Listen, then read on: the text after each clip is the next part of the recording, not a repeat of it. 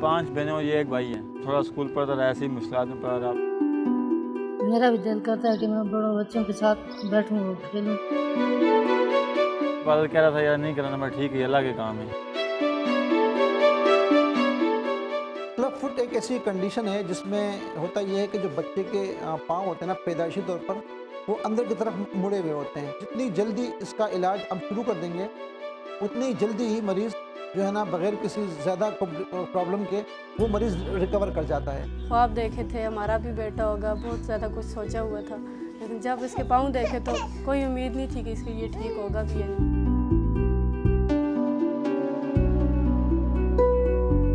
हर किसी ने बोला इसके इलाज तो नहीं होगा ये इलाज नहीं होगा